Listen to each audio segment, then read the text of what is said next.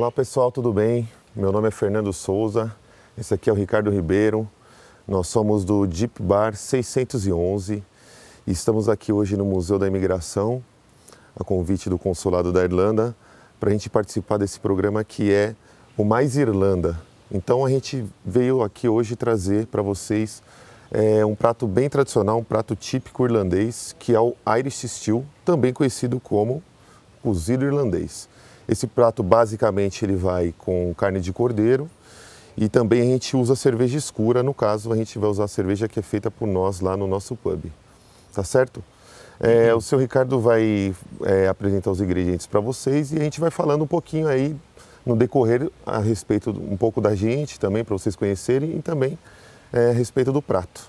Tá bom? Ok.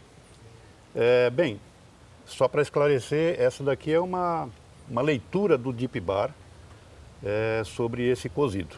Né? Existem, evidentemente, muitas receitas, né? mas essa aqui é o que a gente acredita ser mais próximo daquilo que é o autêntico cozido irlandês. É, basicamente, esse cozido, que é a carne de cordeiro, é acompanhado de algumas verduras. Em geral, essas verduras são verduras que são colhidas ali é, próximo da, da, população. Então, nós temos aqui é, cenoura, que já está picada. Nós temos cebolinha. Nós temos é, cogumelo Paris, conhecido como champignon também, fresco a carne de cordeiro, que já está picada em cubos. É importante que essa carne seja uma carne sem ossos. E alguns temperos. Nós temos aqui tomilho e louro.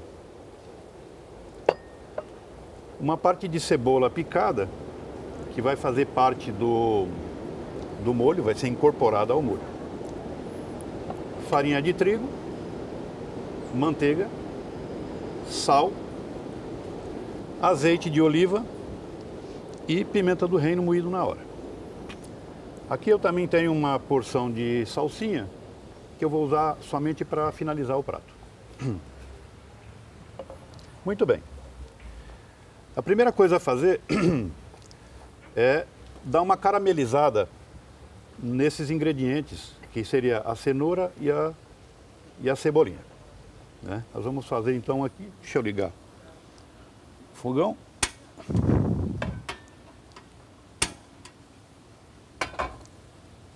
É importante que todo esse preparo, é, ele é feito com o fogo alto.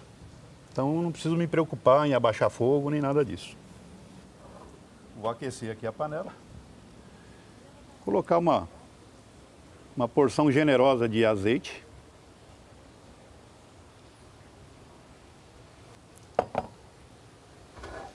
Deixa eu dar uma aquecida.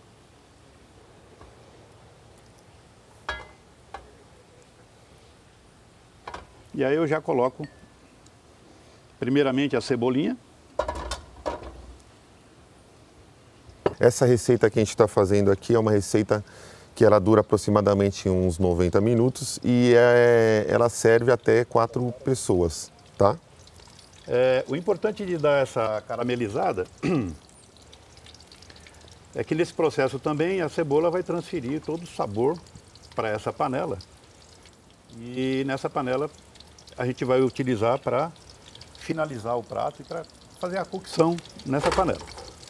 Eu vou fazer uma primeira etapa, que vai ser é, a cocção da carne, né? e depois que ela estiver macia, eu vou entrar com os outros ingredientes. Mas nesse momento eu, eu tenho somente que fazer fazer essa selagem dos ingredientes.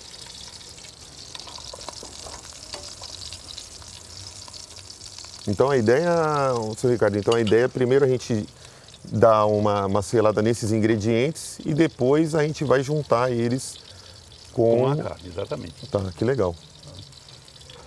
Uma pena que o, o vídeo não tem, não tem o cheiro, porque é um maravilhoso. Uhum essa cebolinha aqui sapecada no, no azeite. Então vocês podem ver que ela já está dando uma, uma douradinha. E o objetivo é esse. O quanto a sua paciência puder é, para pilotar essa, essa, essa fase e deixar ela bem uniforme, né? mais importante.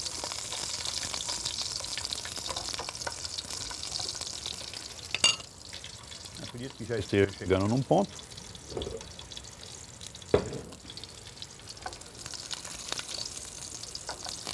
É legal porque esse prato também você pode fazer ele tanto no inverno também quanto no verão.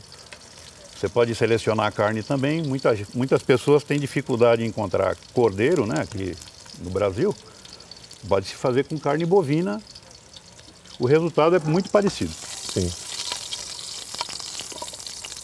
É, eu acho que aqui já está bom. Eu vou transferir para cá e vou reservar pouquinho mais de azeite. A receita, então, ela, ela, ela vai. É, essa receita que a gente vai fazer, ela usa 12 cebolinhas, não é isso? É, tem mais ou menos umas três cebolinhas para cada porção. Tá. Então eu fiz mais ou menos essa conta, né? Então daria umas 12 cebolas. Evidente que essas quantidades, elas podem variar de acordo com o gosto. Sim. Tem gente que gosta mais de cebola ou menos. Uhum. Né? Então aqui eu estou fazendo o mesmo processo com a cenoura. A cenoura me parece ser até mais rápido. E a cenourinha dá uma descascada, tem alguma dica para a gente é relacionado você... ao tamanho, corta ela em cubo, como que, é, que seria o Aqui o nós, ideal? nós utilizamos uma, uma cenoura, digamos assim, fina, né? e o ideal é que ela tenha mais ou menos uns 2 centímetros em rodelas, né? de 2 centímetros. Se a cenoura for muito grossa, pode ser um pouco menor. Tá. Não pode ser muito, muito grossa, porque senão, é, na hora de fazer o cozimento do, desses, dessas verduras, ela pode ser que fique mais dura, né? Ou se ela ficar mole, os outros ingredientes ou as outras verduras ficar muito, muito cozida, né? Uhum. Então nós temos o champignon que nós não vamos fazer isso. Tá. Vamos fazer isso aqui na cenoura e na, na cebolinha.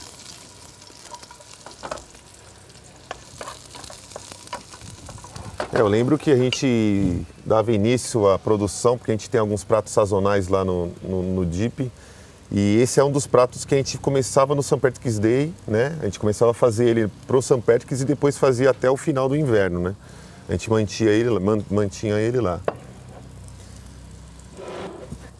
Bom, feito isso, acho que a cebola também já está no ponto. Deixa eu reservar.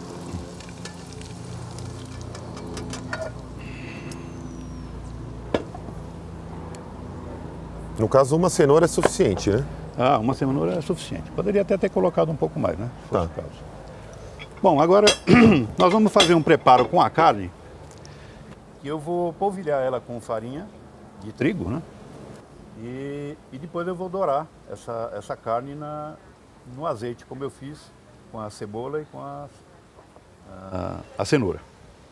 Então o processo é, eu vou colocar um pouco de farinha, mais ou menos uma ou duas colheres de farinha. Colocar um sal. Pimenta do reino. Ah, que legal. No caso aqui eu estou usando pimenta branca moída na hora. Vou misturar bem. Aqui vai ficar uma farinha de trigo temperada, né? E aí eu vou distribuir os cubos da carne para dar essa polvilhada, essa enfarinhada na carne. Tem algum motivo específico, assim, para usar essa... Primeiro que é, é bom, é, é para poder selar mesmo e, Sim. e manter ah, um pouco de suculência na carne. Sim, legal. Ela vai ficar, nesse processo aqui, ela vai ficar é, bem dourada, né? bem enfarinhado. Muito bem. Agora eu vou selar essa carne. Aqui a carne a gente pode usar de, a carne de cordeiro a gente pode usar tanto a, a paleta quanto, quanto o pernil também ou, ou pode usar uma outra é, parte? Verdade, é, não existe uma parte, digamos assim, é, específica para esse prato. Pode ser qualquer uma dessas partes. No caso aqui nós estamos usando o pernil. Tá. O pernil que já é mais carnudo, digamos assim. Uhum. Muito bem. Aquecido o azeite. O ideal é que se faça esse processo da, de fritura da, da carne, de selagem, é, com a carne bem espalhada, né?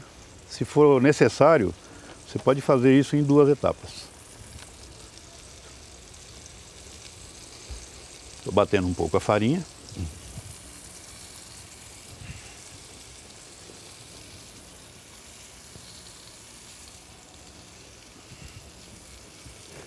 Essa farinha que sobra aqui eu vou reservar. eu vou usar ela numa, numa fase seguinte. Que é justamente para dar o, o caldo.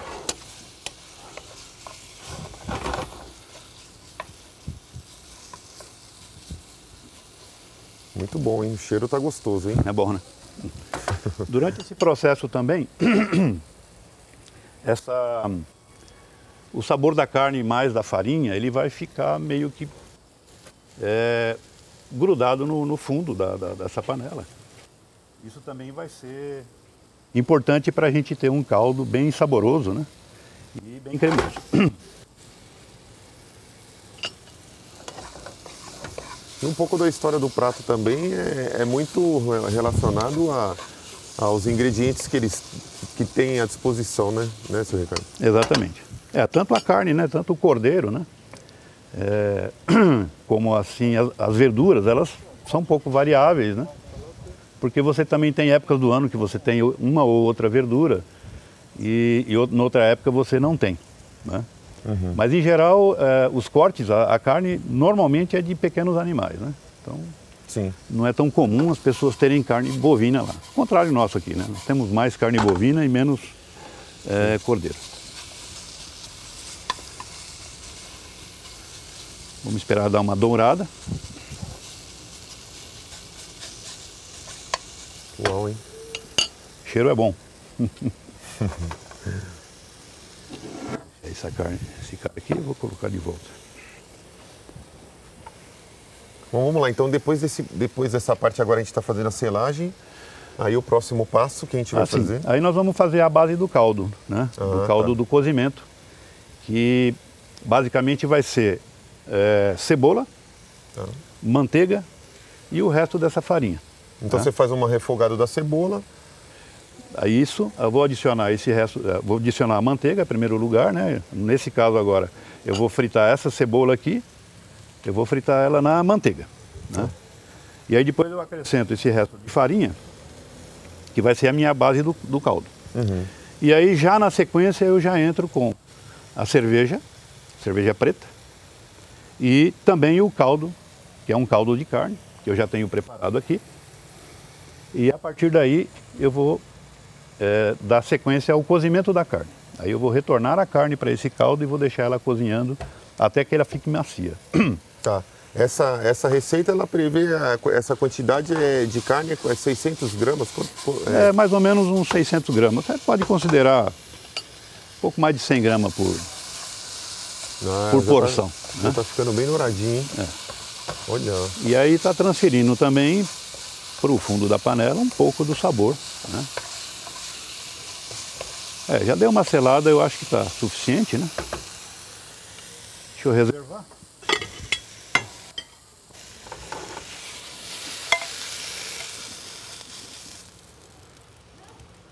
Muito bem.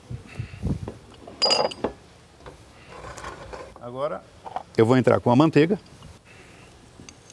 Mais ou menos uma colher de sopa de manteiga.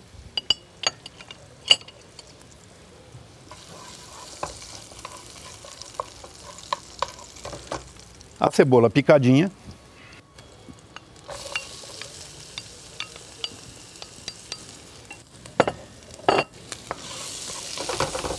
Cheiro bom também, cebola, hein? Nossa Senhora. E esse, esse, esse lance de usar cerveja Ele tem algum cuidado que precisa tomar, não? Ou a gente tem que É, tomar tem- cerveja? É. Na verdade, você não precisa tomar cuidado, né? De preferência, você pode tomar a cerveja. Mas é bom que você comece a tomar depois que deu início o preparo, porque senão não sobra aí. Acabou a receita. E tem que ser a cerveja escura também, né? Ah, sim, tem que ser a cerveja escura e é importante que a cerveja seja uma cerveja do estilo stout, Sim. que é uma cerveja seca. Não pode ser mouse beer, por exemplo. Cerveja doce não vira, né? Tem que ser uma dry stout mesmo, né? Tem que ser uma dry stout. Então, aqui nós estamos usando uma produção nossa, que é a, é a Monga. É uma cerveja é, estilo irlandês, uma stout estilo irlandês seca. Muito boa por sinal, né? Não é porque a gente que Ah, sim. faz, mas. Bom, dei uma murchada na, na, na cebola. Eu gosto de adicionar agora é, o louro. A cebola já tá ficando douradinha, tá no ponto. É, a cebola já deu a murchada, já está, já está no ponto. Deixa eu ver como é que está o fogo. Tá Tá rolando. bom. A chama bem azulzinha. né? Muito bem. Então aquela a farinha que foi polvilhada na carne e sobrou, a gente vai colocar agora.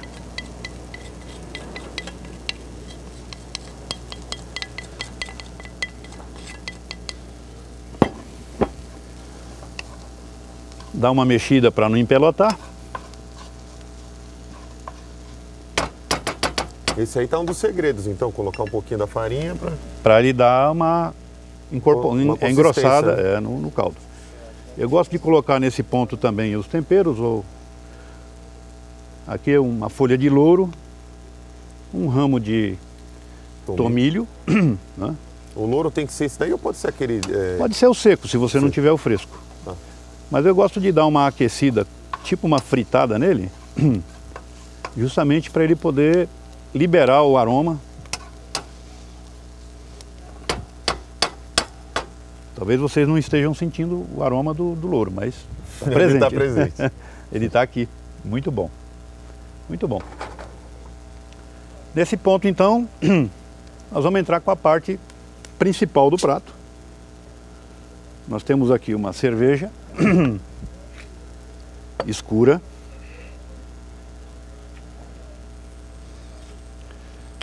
E aqui na receita a gente vai usar aproximadamente 200 ml.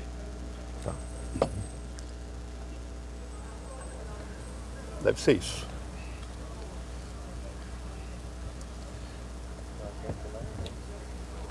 Boa. Deu sede agora, hein? Então eu vou colocar aos poucos também para não empelotar a farinha.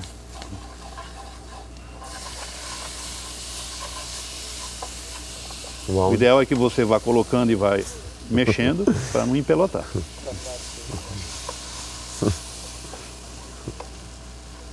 E aquela sedimentação que ficou, tanto da carne como da cebola e da cenoura, você já vai incorporando aqui. Pode colocar tudo. Uma pena que não sobrou nada no copo.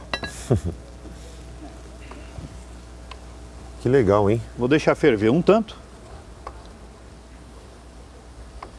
E aí eu vou colocar aproximadamente uns 200 ml também de caldo de, de carne. É, esse caldo eu, é um caldo que nós fizemos. É, nós compramos o pernil para poder tirar a carne. E aí do- dos ossos você faz um, um cozimento longo com alguns temperos e aí você já obtém o caldo. Se não quiser fazer o caldo, pode usar caldo de tablete mesmo, esse que vende no supermercado. Você vai diluir então um tablete em 200 ml de água, água quente de preferência. E a partir daí, você utiliza na receita. Muito bem. Deu uma pequena fervida. Agora nós vamos entrar no processo mais longo do prato, que é o cozimento da carne. Né? Então eu vou retornar agora a carne, por enquanto somente a carne.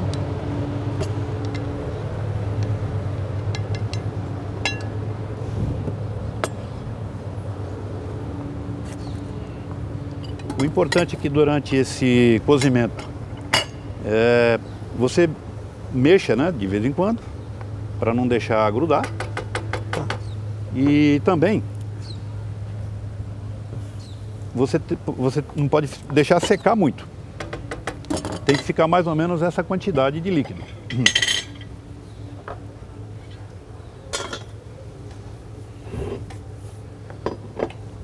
Se eventualmente você precisar, se ele secar muito, você pode acrescentar água, preferência água quente ou fervida. Eu até tenho aqui uma porção, vou deixar até deixar no jeito, se eventualmente eu possa precisar durante a cocção. Que legal. E isso daí também coloca, aí dá uma abaixadinha no fogo? Não, não. Você pode manter o fogo alto. Tá. Né? Todo o preparo é, é, é, feito com o fogo alto. E a, a, vantagem também é isso, né? Que você, é, mantendo o fogo alto, você tem uma cocção um pouco mais rápida. Sim. E esse tempo aqui vai mais ou menos 40 minutos até uma hora, depende da carne, né? O ideal é que vá se experimentando a carne, ver se ela já está macia. Uhum. Aí ela estando macia, aí você vai juntar todos os ingredientes. É o que a gente vai ver, vai fazer na próxima, na próxima etapa. Então agora é aguardar o cozimento e vigiar para ele não secar demais. Em geral nós temos esse prato no inverno Sim. e evidentemente que no, no dia de São Patrício nós temos também o prato. Né? É, para o pessoal que não conhece o, o Deep Bar, a gente está localizado na rua Barra Funda, a gente é um pubzinho pequeno, um pub local. É, em 2020 a gente fez, é, completamos 10 anos de, de existência.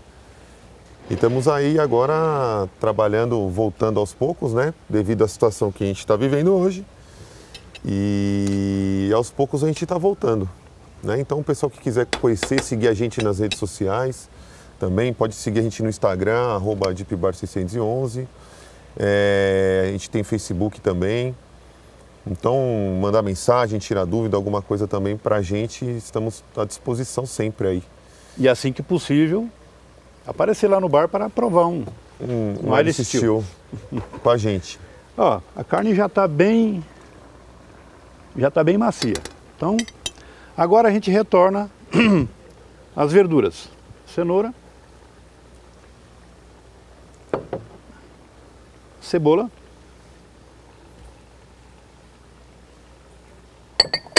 Vai lá. E o cogumelo.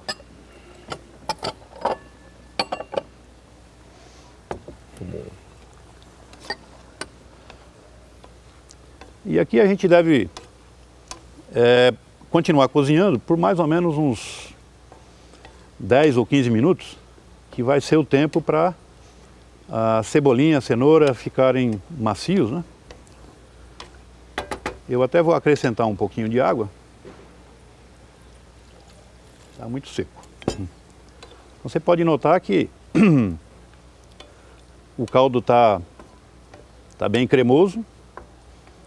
Muito bom. Aqui vai cozinhar mais ou menos uns 15 a 20 minutos. Né?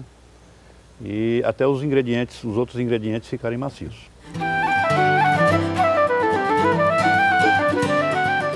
Nosso cozido já está finalizado praticamente. Uau. Cheiro bom, hein? Bom, enquanto é, os legumes estavam cozinhando aqui, nós colocamos uma batata também para cozinhar na pressão, porque o ideal é você servir com batata cozida. Né? É, uma variação do prato pode ser é, colocar a batata também junto com os legumes. É, isso vai da preferência. Uhum. Então já está finalizado. E agora a melhor parte do, do, do, preparo, que é a prova dos nove. Eu já vou aproveitar. É, agora que a gente vai, vai descobrir se... se presta, né? Deixa eu ver se eu pego aqui uma batata.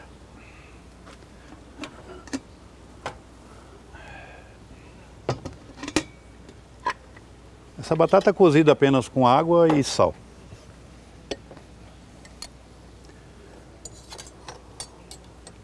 Eu gosto de colocar no fundo meia batata.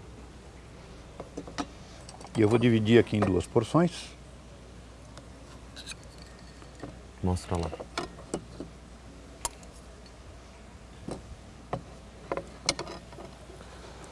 Que maravilha, hein? E agora vamos à prova dos nove.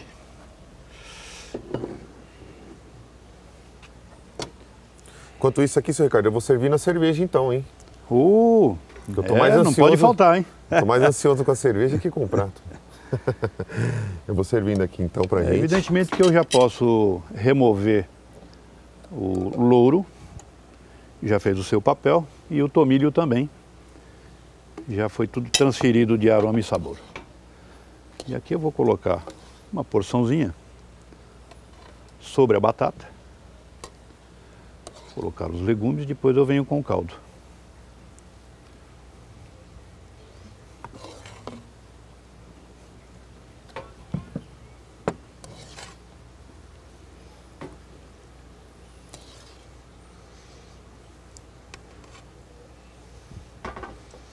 Caldinho também é bom, né?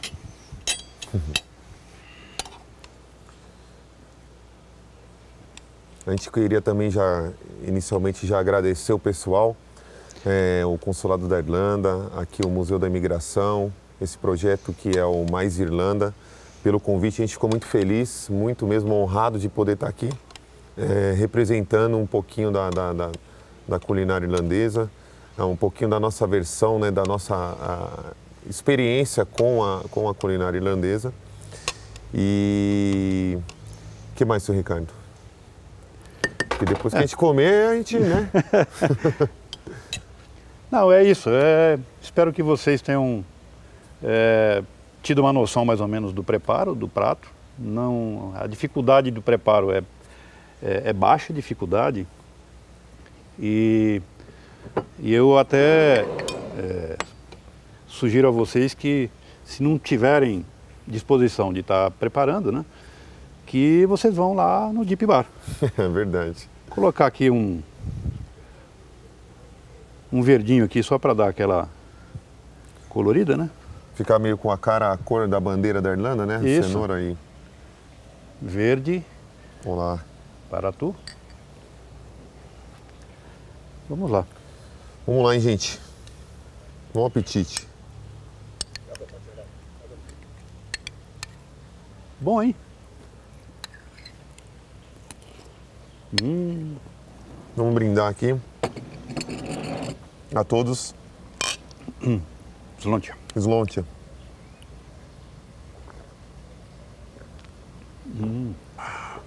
Muito boa também. Muito bom. Espero que tenham go- gostado. Muito obrigado. Bom, pessoal, é, mais uma vez a gente é, gostaria de agradecer é, o Museu da Imigração, gostaria de agradecer também ao Consulado da Irlanda, esse projeto Mais Irlanda. A gente está muito honrado de poder estar aqui com vocês hoje, é, apresentando um pouquinho é, da nossa influência, né, essa influência sofrida pela culinária irlandesa, pela cultura irlandesa. E, e isso nos deixa muito, muito honrados mesmo de poder representá-los aqui, tá? Então, mais uma vez, fica o, o nosso agradecimento e também aguardamos vocês aí em breve lá no nosso querido pub Deep Bar, tá ok? Muito obrigado, gente.